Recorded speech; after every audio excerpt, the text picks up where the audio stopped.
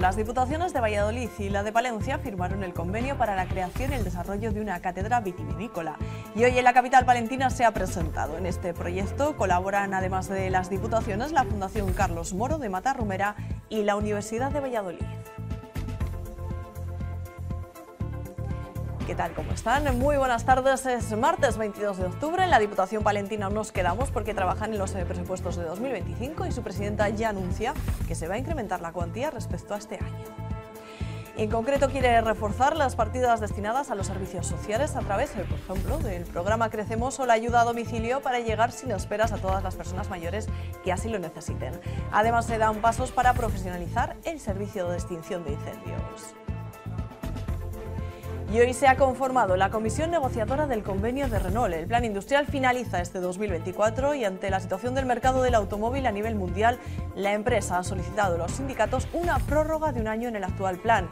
Es decir, los trabajadores seguirían con las mismas condiciones laborales hasta 2025 a la espera de que se despeje la incertidumbre del mercado y de la normativa de emisiones.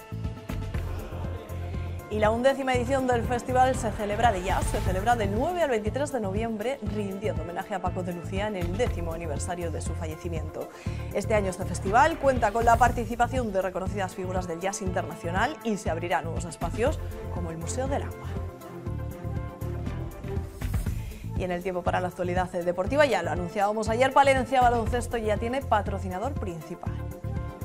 Super Agropal Palencia, así suena el nuevo nombre del equipo. La cadena de supermercados se convierte en el principal patrocinador durante dos temporadas. Una apuesta, dicen, por el comercio local y el trabajo en equipo, compartiendo valores, raíces y un amor profundo por Palencia. El acuerdo se ha presentado esta mañana junto con las nuevas camisetas, donde ya luce el logo del patrocinador.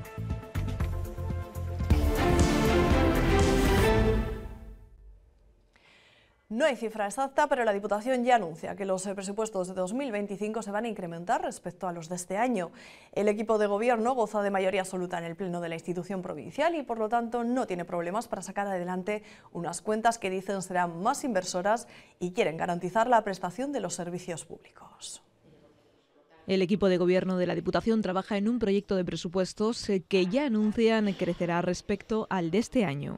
Va a haber un incremento presupuestario Segundo, va a ser un presupuesto inversor. Ese incremento será consecuencia de la apuesta de la Diputación por reforzar los servicios sociales. La ayuda a domicilio, ese servicio tan fundamental para atender a nuestras personas mayores, pues desde el 2016 que la Diputación eh, invertía en personas o invertía en ayuda a domicilio 18 millones, este año van a ser 30 millones de euros. Y de la inversión necesaria para avanzar hacia la profesionalización del servicio de extinción de incendios. Vamos a materializar con esos 18 nuevas plazas de bomberos y con la puesta en marcha de esos parques que ya van muy avanzados, pero bueno, vamos a empezar ya el primer examen va a tener lugar en noviembre, esa sí que es una noticia. La presidenta de la Diputación carga además contra el gobierno de Pedro Sánchez por no diseñar un proyecto de presupuestos y generar incertidumbre. Yo creo que gobernar sin presentar en qué quieres o cuáles son tus prioridades ante los ciudadanos, pues sin duda es solo un gobierno de la política, pero no un gobierno de los servicios y de las inversiones a los ciudadanos. Y no entiende que los parlamentarios socialistas no apoyen los presupuestos presentados por la Junta de Castilla y León. Una importante cantidad, un importante compromiso para ese nuevo hospital, para la radioterapia y también eh, lógicamente para esas inversiones que Palencia necesita y que no debemos posponer. Incógnitas que la presidenta de la Diputación confía en que se resuelvan sin causar perjuicios a los palentinos. Y vamos con esa valoración de los eh, procuradores regionales socialistas eh, por Valencia de la propuesta de presupuestos de la Junta. Jesús Guerrero, Consolación Pablos y Rubén Hillera los califican de irreales al buscar únicamente, opinan, un adelanto electoral. Aseguran que se promete ahora todo lo que no se ha hecho en los últimos 30 años. Reclaman al Partido Popular que deje de mirar hacia otro lado y se comprometa de manera real con los palentinos. En este 2024 finaliza el plan industrial de Renault en las factorías de España, incluida la de Villamuriel de Cerrato, por lo que comienza la negociación del siguiente.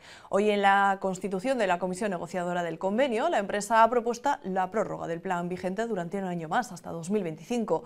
Se basa en la incertidumbre del mercado. Desde UGT aseguran que la compañía habla también de reducciones de plantilla. Siempre que finaliza un plan industrial en Renault, el fantasma de la deslocalización sobrevuela las factorías españolas. Pero en esta ocasión, en este primer contacto de la comisión negociadora del convenio, desde UGT señalan que la empresa habla ahora de una reducción de plantilla de no cambiar el panorama.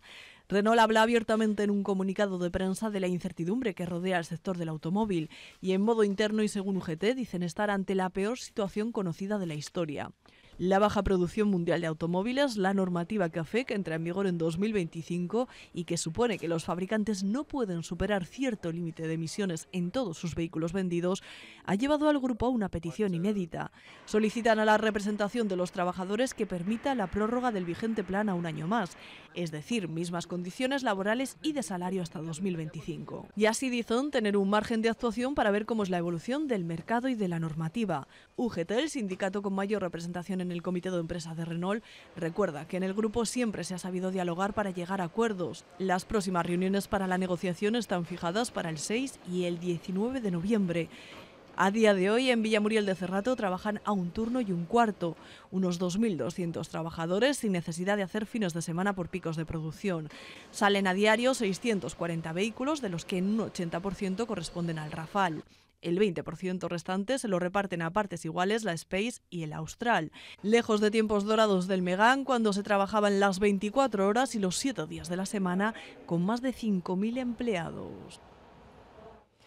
Y ya hay acuerdo definitivo para el centro de tratamiento de residuos del Ayuntamiento de la capital y la Diputación. Los representantes eh, de los trabajadores y la empresa que lo gestiona han firmado un convenio que tendrá una vigencia de tres años. El preacuerdo puso fin a estas eh, protestas que se sucedieron a las puertas de este centro de tratamiento días atrás. El nuevo convenio afecta a casi medio centenar de empleados, a 40 e incluye incrementos que garantizan que no se pierda poder adquisitivo y también importantes mejoras sociales para la plantilla, según han manifestado desde el sindicato Comisiones Obreras. El sindicato insiste en que las medidas de presión fueron clave para lograr este acuerdo.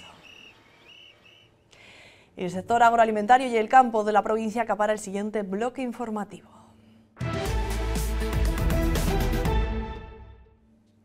El pasado mes de julio, la Diputación de Valladolid y la Palentina firmaron un convenio para la creación y el desarrollo de una cátedra vitivinícola y hoy en la capital palentina se ha presentado. Cuéntanos, Marta Caña. En este Palacio Provincial hoy se ha presentado la Cátedra Vitivinícola con la que pretenden potenciar y fomentar la cultura del vino en nuestra provincia. Es una iniciativa público-privada en la que colabora la Diputación de Palencia, la de Valladolid, la Universidad de Valladolid y la Fundación Carlos Moro de Matarromera. La Cátedra Vitivinícola nace con unos objetivos muy claros tres ejes fundamentales, la formación, la investigación y la transferencia. Una cátedra para la innovación, para la investigación y para trasladar a la sociedad todo aquello que se encuentre en este proceso de trabajo. Pretende además potenciar el desarrollo de uno de los sectores productivos más importantes de nuestro entorno. Con esa finalidad de que el conocimiento y la cultura del vino tan arraigado a nuestra historia, sobre todo no a la historia como solo un patrimonio, sino a nuestra forma de vida. Desde la Universidad de Valladolid valoran esta unión con las administraciones públicas como una manera positiva de desarrollo de la universidad. Somos una herramienta, una herramienta que, bueno, es como todo, si, se utiliza será rentable y si no, pues, pues, pues, no. Y esta es una de las formas de rentabilizar pues, la universidad, es decir, colaborando entre eh, los tres eh, sectores básicos siempre, que son por un lado las empresas, por otro lado, eh, la Administración y por otro lado, pues la universidad como generadora de conocimiento. La Fundación Carlos Muro de Matarromera colaborará también en esta iniciativa. Es una creación absolutamente novedosa por parte de la eh, universidad, pero por parte también fantásticamente de dos diputaciones eh, hermanas que han decidido apostar por este tema porque piensan que va a ser útil para sus conciudadanos. Y se traducirá en la formación de los estudiantes. Facilitar que los estudiantes pues, realicen prácticas en empresa, prácticas en distintas bodegas de Castilla y León, pero especialmente en las provincias de, Valladolid y, de Palencia. Esta formación supondrá un impulso para el grado de enología que también se desarrolla en Palencia. Y nos asomamos al campo porque la Junta sigue pendiente de la evolución del número de topillos en la provincia. Es un trabajo mensual que deja buenas noticias, al menos en cuanto a los problemas de salud derivados de la superpoblación del roedor. Estamos esperando a recibir los, últimos eh, datos de, cómo se encuentra la situación. Eh, han disminuido en algunas, en algunas zonas, ¿no? de forma importante, y en cambio pues, eh, ha aumentado ligeramente en otras, en otras comarcas al final de este mes pues tendremos los datos más, eh, más reales y voy a decir, estamos haciendo un seguimiento tanto del topillo como de eh, patologías ligadas al, topillo, ¿no? como el caso de la tularemia, que en este momento pues eh, prácticamente ha desaparecido los casos. Brañosera sigue con las eh, celebraciones de los 1.200 años de la concesión de su Carta Puebla, la que le convirtió en el primer municipio de España. En esta ocasión, y gracias al Instituto Castellano y Leones eh, de la Lengua, se celebra un congreso en torno a esta parte de nuestra historia. Seguirá esta tarde en el Salón de Actos de la Biblioteca.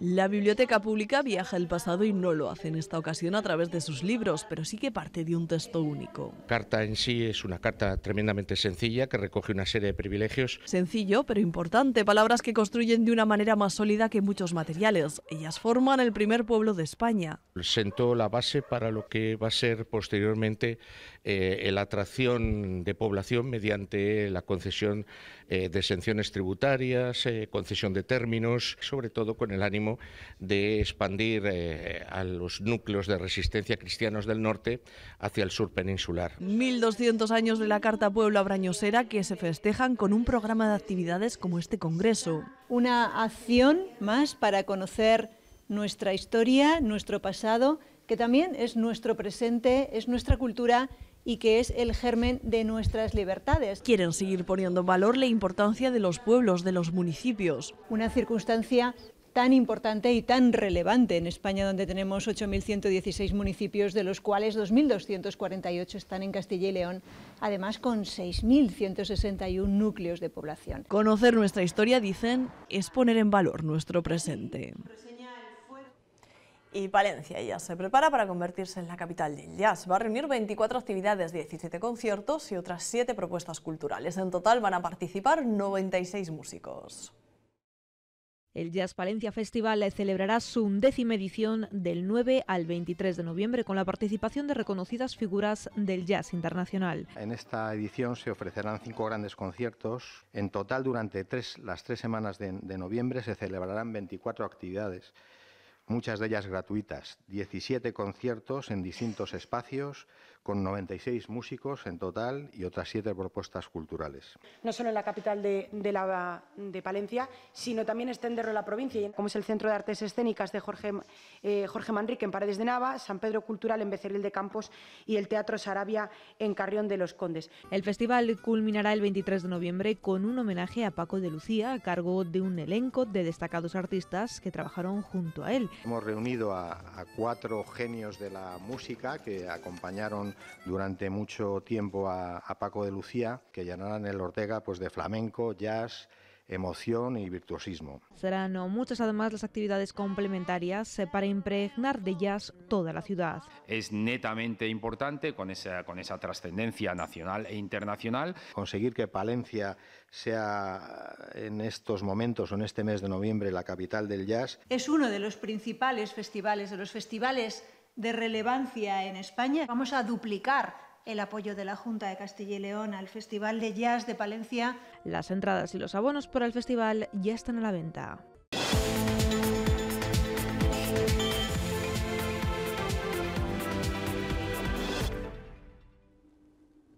Saludos Valencia, vamos con la información deportiva que lógicamente tiene que girar en torno al nuevo patrocinador del Palencia Baloncesto, que dejará de ser Palencia Baloncesto como nombre oficial en la competición de la primera FED. Será Super Agropal, así será la denominación las dos próximas temporadas, esta y la que viene, del conjunto morado. Esperemos que primero en la primera FEP y la próxima temporada en la ACB. Ayer se hacía oficial, hoy ha sido la ceremonia de presentación del nuevo, entre comillas, patrocinador, porque ya lo fue anteriormente con otra marca de la empresa, Quesos Cerrato. Desde que Zander decidió no seguir con el patrocinio de Palencia Baloncesto, la directiva colegial ha realizado varias gestiones para encontrar su sustituto, principalmente empresas palentinas. Tres de ellas recibieron la oferta, un principio de 250.000 euros por patrocinar al equipo morado, dos de alimentación y otra relacionada con el ciclismo. Al final, una de ellas, Super Agropal, dio el sí, aunque no se haya indicado a cambio de qué cantidad, Palencia Baloncesto cede su nombre y el espacio publicitario en su camiseta. Consideramos que la alianza que hoy comenzamos con Superagropal es lógica y va a ser beneficiosa para las dos partes por una serie de argumentos que os paso a enamorar.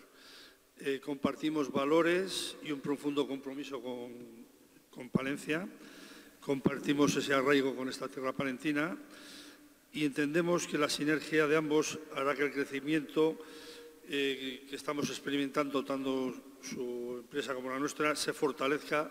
Super Agropal ya patrocina un equipo palentino en esta temporada, el Palencia Cristo Atlético, y ya lo hizo anteriormente durante cuatro temporadas al propio equipo de baloncesto, pero con uno de sus productos estrella, con quesos Cerrato. Hoy ha sido el acto de presentación de este nuevo patrocinador. Hemos acordado eh, comprometernos por dos, dos temporadas. Este, este es un acuerdo por dos temporadas, evidentemente si hubiera un ascenso, hubiera cualquier variabilidad de, las condiciones, pues eh, habría que hablar por las ambas partes. Con Quesos Cerrato tuvo lugar una época dorada en el Club Morado que se espera repetir y superar con su nave nodriza. Con la nueva denominación Super Agropal jugará ya este sábado en Sevilla ante el Betis. Bueno, claro que la cantidad que comentábamos anteriormente era lo que pedía diversas empresas en el club. Eh, lo que se desconoce es si finalmente es por esa u otra cantidad menor o mayor por la que se ha llegado a un acuerdo. Desde aquí no cabe otra cosa que dar la enhorabuena a la directiva por poder lograr un nuevo patrocinador que a estas alturas y tal como está la vida no es nada fácil. El agradecimiento a Super Agropal por colaborar con el baloncesto, por ayudar al baloncesto y al deporte palentino. Y a Raúl Bullagra solo decirle que como ve, que esté tranquilo. Se ha hablado de patrocinador, no de la megafonía. Vamos con fútbol, con la Copa del Rey. 250 50 entradas ha pedido el Rayo Vallecano para vender entre sus aficionados para el partido copero del próximo martes. Este número seguramente quede multiplicado por bastantes números en el caso que James venga a disputar este partido. La colonia colombiana está expectante. El próximo martes a las 7 de la tarde se jugará en la balastera el partido más importante en la historia del Villamuriel, el que le enfrentará al Rayo Vallecano en la primera eliminatoria de la Copa del Rey. El club madrileño ha solicitado al cerrateño 250 entradas para venderlas entre sus aficionados. Por su parte, ayer y hoy se procede a la entrega de localidades a los cerca de 300 socios del Villamuriel, en su caso gratuitas. Tienen la posibilidad de poder adquirir otras entradas para no socios pagando su importe, al precio de 15 euros en los fondos, 20 en preferencia y 25 en tribuna, la grada de los vestuarios. Los niños de la Escuela de Fútbol del Villamuriel pagarán 10 euros y serán ubicados en el fondo norte.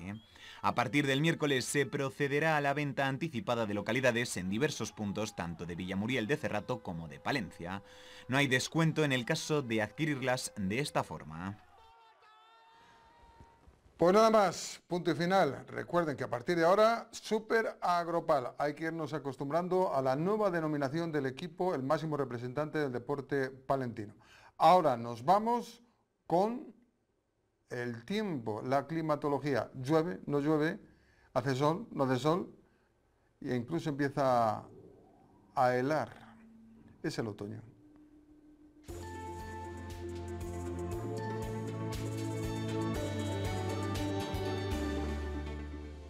El tiempo de cara a la jornada de mañana miércoles en la provincia de Palencia dejará cielos parcialmente nublados en la zona norte, con temperaturas máximas de 17 grados y mínimas de 7 en Guardo y hasta 6 bajarán en Velilla del río Carrión. Si avanzamos vemos cielos soleados en Cervera de Pisuerga, al igual que en Cilla Mayor o Aguilar de Campo, con máximas de 19 grados y mínimas de 5. Si seguimos hacia la zona de Alar del Rey, vemos una situación muy parecida, con máximas de 19 grados y mínimas de 6. En la zona de La Vega, máximas de 18 grados y mínimas de 6, con una tímida presencia de nubes. Si nos acercamos hacia Tierra de Campos, vemos que las temperaturas aumentarán hasta los 20 grados de máxima y 6 de mínima en Fromista, Población de Campos o Villoldo. En la zona de la Nava, 20 grados de máxima y 8 de mínima, con tímida presencia de nubes. En Villarramiel, cielos nublados durante buena parte de la jornada, con temperaturas, eso sí, algo más altas, con máximas de 21 grados. En los pueblos del Alfoz de la capital vemos una situación muy parecida, con máximas de 21 grados y mínimas de 8 en Dueñas o Villamuriel de Cerrato. En Baltanás, Maga de Pisuerga o Venta de Baños, máximas de 21 grados y mínimas entre los 7 y los 8 grados. En la capital tendremos cielos nublados prácticamente durante toda la jornada, dejándonos temperaturas máximas de 20 grados y mínimas de 7. De cara a los próximos días vuelven las precipitaciones y la bajada de temperaturas. El jueves máximas de 20 grados y mínimas de 9, pero atención porque el viernes bajarán las máximas hasta los 14 y el sábado hasta los 12 con mínimas de 3. Ven a celebrar la 39 edición del Día de la Provincia. Será el domingo 27 de octubre en Carrión de los Condes. Disfruta del amplio programa popular que han preparado en torno a los sitios cluniacenses, desfile de pendones y dulzaineros, exhibición de alfombra floral, muestra de alimentos de Palencia, comida popular, visitas teatralizadas o pequeferia. En el vestíbulo del Palacio Provincial nos hablan del impacto de los microplásticos y la microbasura en nuestro entorno. El plástico presente en todos los ámbitos de nuestra vida tiene algunos beneficios, pero la cultura del usar y tirar está ya dañando nuestros ríos, nuestros mares y también nuestra salud. Infórmate visitando esta muestra. Hasta el 30 de noviembre sigue abierto el plazo de inscripción para distintas actividades formativas del Servicio de Juventud, cursos que buscan fomentar habilidades y capacidades de jóvenes entre los 14 y los 36 años, formación tan diversa como ilustración, marketing o la edición de vídeo adiós, al menos hasta luego, porque tienen una nueva cita con la información local y provincial aquí en la 8 Palencia a partir de las 9 de la noche. Les dejamos ahora con toda la información de Castilla y León Televisión. Como siempre, muchas gracias por su compañía y su atención y que tengan muy buena tarde.